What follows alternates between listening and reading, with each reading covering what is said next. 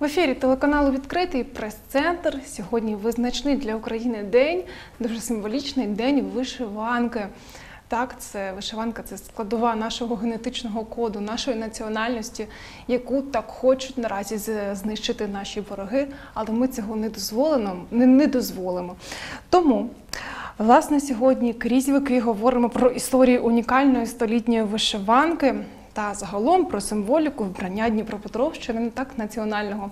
В наших гостях сьогодні Оксана Тижненко, народна майстриня України з вишивки, керівниця гуртка Традиційна українська вишивка Центру дитячої та юнацької творчості. Та власне родина, яка сьогодні принесла унікальну столітню сімейну реліквію, вишиванку Людмила та Вікторія Надєїна. Я вас вітаю. Власне, з історії також хочеться і почати. Пані Людмило, розкажіть, будь ласка, про те, про те, як вам дісталася така дорогоцінна річ, від кого? Ну, це вишиванка моєї бабусі. Е, Вона мені дісталася, ну, можна сказати, случайно. Да. Е, Був час, коли е, ну, вишиванки були і не в моді, і їх ховали, і не носили. От моїй мамі якраз оце, е, цей період і достався в її житті. Е, Ну, ця вишиванка якось так, вона у нас лежала в шкафі.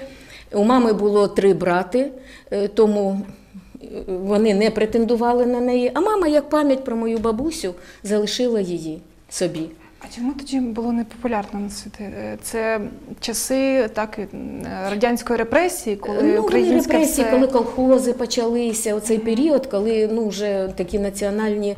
е, коли намагалися знищити українську Е, такі да, да, символіку. Да, да. Уже мама моя не носила цього. Це вже при бабусі воно і так і залишилося в той період. Як відреагували, коли вам передали цю річ? Я скажу, це е, коли ми перебирали мамині речі, коли вона померла, я побачила цю вишиванку от, і віддала її старшій своїй сестрі.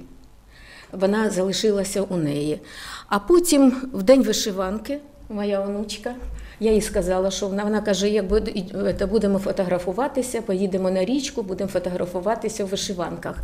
А я кажу, ти знаєш, у моєї сестри є отака вишиванка. Я її пішла, забрала. Вона з п'яти наших внучок, одна, яка виявила інтерес до цього. От, і моя сестра сказала, якщо вона їй так подобається, нехай вона залишиться їй, і нехай вона цю реліквію е, собі збереже для її дітей і, ну, і так далі. Це, Це- довга сорочка. Довга, це довга сорочка. У А мене у вас є, є фотографії? Є, да, у мене є світлина. Ось о, ця. Хто на світлині? Світлина це моя бабуся в цій вишиванці. Це прапрабабуся Це- пані Вікторії. Да, прапрабабуся, так. Її це прапрабабуся, моя бабуся. І ця вишиванка взагалі характерна для Дніпропетровщини. Чому? Тут е, превалює переважно чорний колір, чорний і красний. Він дуже схожий з запорізькими вишиванками, але у неї є такі свої особливості. У неї ось горловина квадратна. І тут є, це бабуся моя вишивала ще коли вона була дівкою, тому що тут от є її літери, Ініціали. ініціали. Марія Похна, це її е, е, это, дівічестві фа- прізвище. Е, Пані Вікторія, вам слово. Наскільки це для вас тепер важлива річ? Якщо чесно, я е, завжди е, дуже серйозно відносилась до сімейних традицій, до там е, таких е, старих обрядів. Тобто такі теми мене завжди цікавили, і завжди я до цього, е, так би мовити. е, З пошаною відносилась. От і коли я дізналась, що в нас є така сімейна реліквія, як моя бабуся сказала, це сталося випадково. Але я дуже пишаюсь е, тим, що е, тепер е, я буду власницею цієї реліквії, і потім, можливо, якщо мої діти захочуть, я, звісно, це передам їм. Я потім вам покажу фотографії свої особисті, які я фотографувалась біля річки в місті Підгородні. Це дуже гарно атмосферно вийшло. І так, ну коли дізналася, що в нас є така сімейна реліквія, мені ну просто дуже захотілося її побачити, потрогати, бо е, вишиванка, яка е, пройшла е, і збереглася е, в воєнний час, в часи Другої світової війни, і зараз навіть е, переживає Другу війну, і вона пройшла стільки поколінь. Це е, ну я дуже цим пишаю, звісно, і буду її зберігати як тільки можу. Наскільки складно взагалі зберігати таку е, ну, стару важливу цінну річ? Е, Можливо, якщо чесно, можливо, вона потребує якогось особистого е, зберігання, щоб не пошкодилась тканина, щоб збереглась вишивка. Е, Ми її просто обережно зберігаємо у шафі. Тобто зберігаємо, е, ми її е, кладемо в якийсь такий тканинний мішечок, щоб моль там нічого такого її не проїло. Тобто, от, але звісно, роки трохи беруть своє, десь є такі невеличкі дірочки, зацепки, але ну, в загальному вигляді вона зараз непогано Вона виглядає. прекрасна. Ну, власне, як зберігати вишиванки, можемо також запитати у пані Оксани. Сьогодні в наших гостях я нагадую, що народна майстриня України з вишивки та власне керівниця гуртка Традиційна українська вишиванка центру дитячої та юнацької творчості. Пані Оксана викладає, передає оцей багаж культурний, культурну цінність, наш, наші, нашу символіки передає нашому підростаючому поколінню. Пані Оксана, розкажіть, будь ласка, про вишиванки нашого району, якими вони бувають, наскільки Так. Вони важливі. Ну, насправді вишиванки, е, сорочки. Вишиванки це сучасне слово. Ага. Правильно Зазвичай ми сорочки, кажемо, да? да, що це вишита сорочка. Вишиті сорочки. Причому сорочка вона і для чоловіків, і для жінок це сорочка. Це якраз додільна сорочка. Це та сорочка, яка довга, ще були короткі куцики, до яких потім ну, пришивали низ, коли треба міняти його. Ну а взагалі, взагалі, е, сорочки давні, вони всі додільні, от жіночі. Бо це сорочка, вона одягалась на тіло, ну, це була як е, нижня білизна, і потім зверху вже одягалися наступні шари: і юбка, і керсетка, і, або запаска, е, багато всього іще. Ем, По е, орнаментації, дивіться, ось це е, хрестик, це ем, так, останні 100 років. Так вишивають. Але раніше, ще до Хрестикова, така епоха, яка вона величезна, е, це були геометричні орнаменти. І ем, хрестик це була одна з технік. Насправді, в нас на зараз ми налічуємо, мабуть, більше 200 е, швів і технік вишивки, які були на території України, які використовувалися.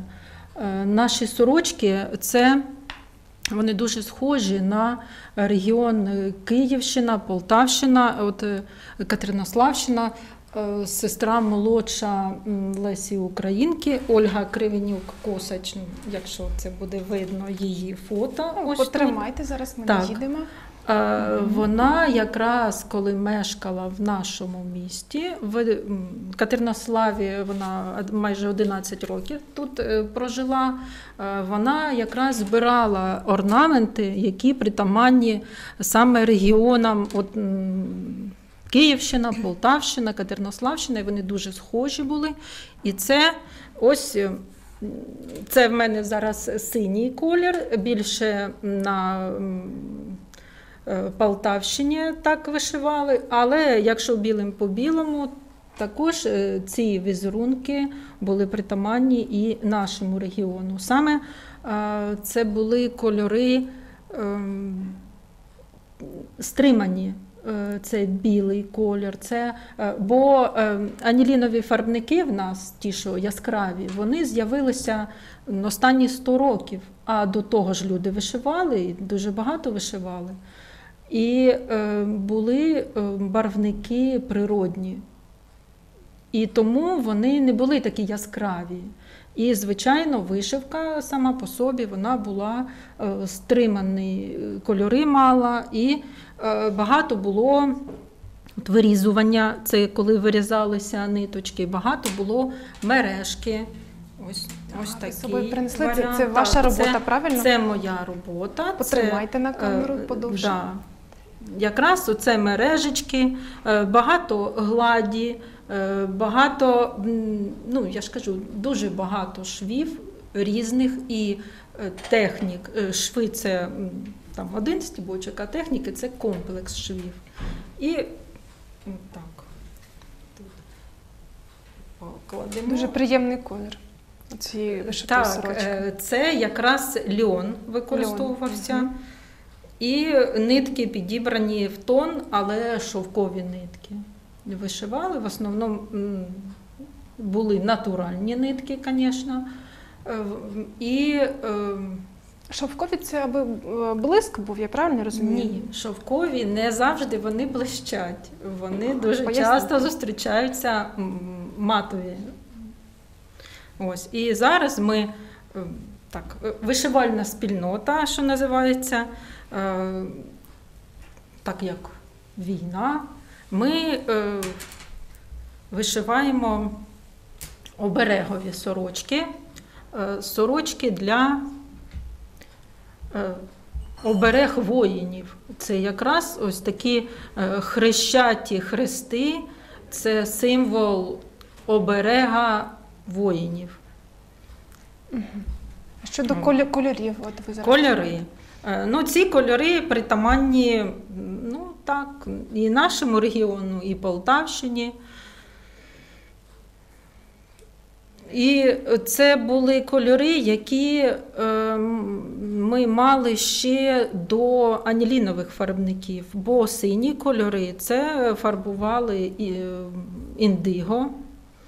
Якраз, якраз ось це е, такі сорочки з синім вишиті, вони називаються ще гадяцькі сорочки. Бо там в гадячах е, фарбували саме була велика така єврейська спільнота, які займалися саме тим, що фарбували нитки в синій колір. І всі там купляли ниточки собі, і були навіть вони мали назву, ці сині сорочки, вони мали назву гадяцькі сорочки. Це район Полтави. І ем, жовтий колір або такий коричневий це е, фарбувалися ниточки в корі дуба. І також був Природний і жовтий, барвник. і синій, природні барвники. Звичайно, було багато е, червоного кольору. Червоний колір ми досягали е, такий е, маленька комашка, яка називається червець. Її збирали. Кстати, у нас місяць червень, він саме так і називається, бо в цей місяць був активний збір цього червеця. Тобто це просто комаха, Да. яку Да, яку збирали, перетирали там в пиль. Ну, як, технологію точно не знаю, але ось е, саме через цю комаху був в нас місяць червень. Ну, ось, там. І це був червоний колір е, притаманний. Е, Дуже мало було чорного, бо його дуже важко досягти, вифарбувати. Але чорний колір це не журба зовсім. Це якби колір землі. А земля це завжди було багатство. Родючість. Тому це колір багатства чорний. Пані Оксана, мені мою вишиванку, вишиту сорочку, вибачаюсь, да? Подарували. І я, якщо, якщо чесно, навіть не знаю, що вон- в якому вона стилі, що тут за символіка. Тут я бачу маки, такі якісь квіточки, е, да, волошки. Ну, що ви скажете про Ну, я скажу, що це сорочку? звичайно е, сучасна, Ну, да. так, і е, це ну, мода. Насправді, Е, от я розказувала про ось ці геометричні ем, орнаменти. Е, Потім е, настала в нас черга ось е, хрестиків. Е, Тому що е, з'явилися анілінові барвники, з'явилися нові е, можливості е, ось, передачі квіточок, бо ем, геометрія вона не має такої реалістичності, як е, ну, схеми хрестикові, як гладь, яка у вас на сорочці. Квіти завжди це дівоча краса, це молодість, це розквіт всього найкращого, що ми маємо. Пані Оксана, ще до вас питання. От ви викладаєте так е, про те, як вишивати е, сорочки. Скажіть, майбутнє покоління, е, діти, як сприймають взагалі, наскільки сильно цікавляться? Цікавість є. Ви знаєте, ну, не всі можуть довго сидіти, і це все кропітка робота. Дуже це як такий довготривалий проєкт, бо сорочка, скажімо, да, от вишити навіть по грудя чоловічої сорочки це не дуже багато, але е, це робота ну, двох тижнів. Е, Скажімо, ось ця сорочка, я її вишивала, мабуть, місяці три, а потім ще вручну збирати. Це ще пару місяців. Тому це робота не для дітей, от такі великі речі, Ну, але маленькі, да, маленькі серветочки, маленькі е, рушнички, там, хусточки. Це залюбки дівчата сидять, вишивають е, якісь маленькі мішечки для якихось прикрас своїх. Ну, Мені взагалі Багато. здається, що якщо от зараз е, так дівчата, е, діти будуть е, вишивати там якусь маленьку хусточку, там, наприклад, татові, який військовий, Так. і він буде носити бі- біля серця, це буде максимальний оберег. От як, як, як, який тільки можна було вигадати. А, Пані Оксана, ще до вас таке питання. Скажіть, будь ласка, ну власне тепер зрозуміло, чому а, вишиті сорочки на сьогодні такі дорогоцінні, а, особливо ручна робота, взагалі мені здається. Можливо, підкажете, я- я- ну, скільки от е, на ринку зараз в магазинах, як багато вони коштують, наскільки от наскільки можна купити? Ну, насправді ручна робота вона завжди цінувалася Безцінна, да. так багато. Скільки я не знаю. Ну, я вишиваю дорогі, для себе. Але воно насправді. того варте. На замовлення є багато майстрів, які беруть на замовлення. Я на замовлення, я просто не встигаю. У мене треба всім своїм нашити. Тому ціна сорочки е, ручної вишивки, ну, я скажу, що це від трьох тисяч гривень зараз. І все залежить від матеріалів. Же ж. Е, Наскільки е, дорого буде коштувати тканина? Якщо це така гарна тканина, натуральна, Ну, До речі, яка має бути тканина для от класичної вишитої сорочки? Це льон чи не завжди? Дивіться, у нас е, це була або льон, або конопляне полотно. І зараз може бути з невеличкими домішками, щоб менше воно зминалося, бо натуральні тканини, вони, звичайно, мнуться.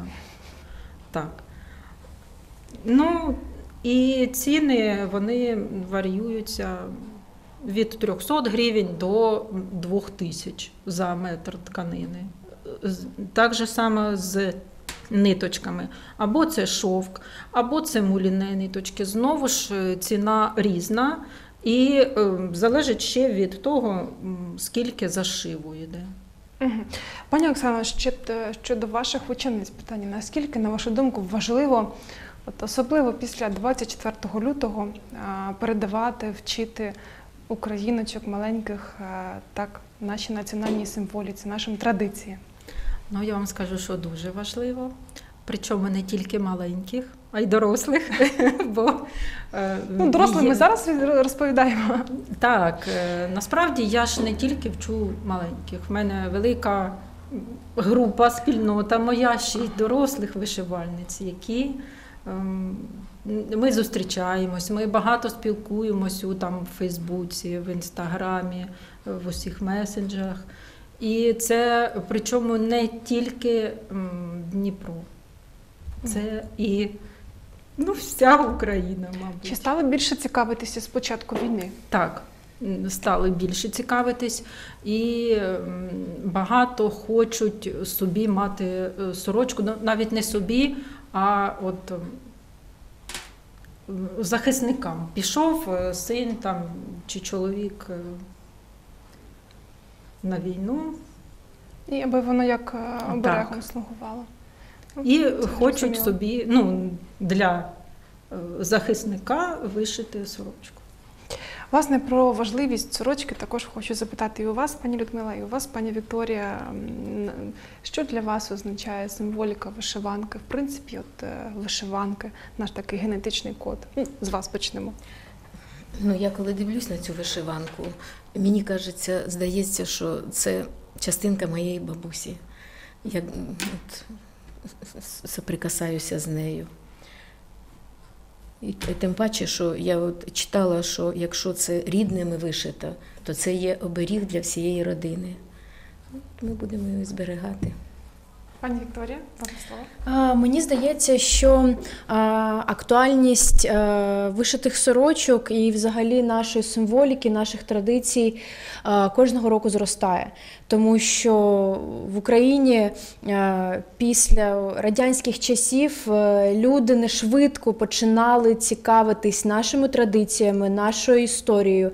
І дуже багато людей Ще раніше в них було, знаєте, таке, як це так би мовити, клішироване ставлення до от нашого е, традиційного одягу. Тобто, от коли, мабуть, там років 15-20 назад е, українці там уявляли якусь просто там вишиту звичайну сорочку, не може не замислювались, далеко не всі замислювались над е, тим, що означає цей символ там, або це як саме це вишито, то зараз з кожним роком це починає тема підійматись, ставати більш актуальною, тому що.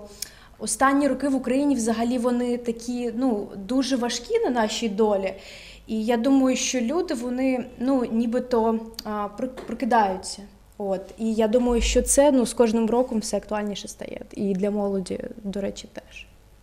Я з вами погоджуюся і дуже радію, що ну, на жаль, в такі скрутні часи українці е, справді розуміють, е, що цінно і що треба шанувати найбільше. І е, я впевнена, що, наприклад, сьогодні українки замовлятимуть не сумочки Шанель, а дорогущі вишиванки. І це класно. І, власне, весь світ зараз носить вишиванки. Ви знаєте, так як. Модні покази світових дизайнерів, там є елементи вишиванки, і вони зізнаються, так, це е, я запозичив з українського, українські орнаменти. І це надзвичайно радує. Бути українцем це тренд, бути українцем це гордість. І ми, перш за все, маємо показувати на своєму прикладі, е, як важливо. Я нагадую, що в наших гостях сьогодні була Оксана Тижненко, народна майстриня України з вишивки та керівниця гуртка Традиційна українська вишивка Центру дитячої та юнацької творчості та власне Людмила та Вікторія Надійні, власниці цінної сімейної реліквії столітньої вишиванки про історію. Так, власне, ми сьогодні почули. Я вам дякую за увагу. Телеканал відкритий. Анна Гребенчук.